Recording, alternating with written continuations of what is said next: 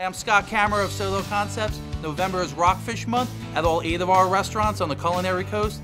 Come check us out. Here at Fish On in Lewes. We're serving a pan-seared rockfish with a basil pesto risotto, butternut squash puree, and a blistered tomato salad. Come on in to see us. At Blue Coast in North Bethany Beach, we're serving up a delicious seared rockfish pan chowder. Come see us. This month at Papa Grande's Rehoboth, we are serving blackened rockfish tacos. Come see us in downtown Rehoboth Beach.